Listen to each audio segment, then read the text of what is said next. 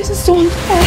Let me see my child. I need to see my child and clear up yourself. Look, that is why. Oh, okay,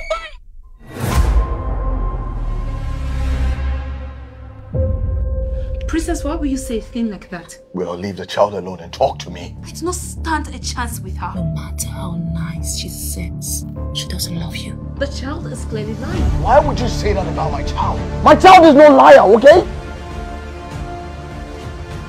You're making me so sad. What? Coming from a slut who shamelessly walked away into my man's life. Coming from a drug addict who almost killed her own child. You know I could report you to court for kidnapping. Oh, so wait, so if I was not called informed that you came to pick her up, I wouldn't have an idea where my child is.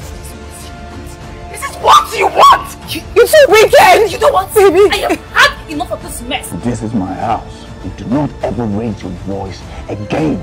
I swear to God, I'll take you to court and I'll take full custody of Princess.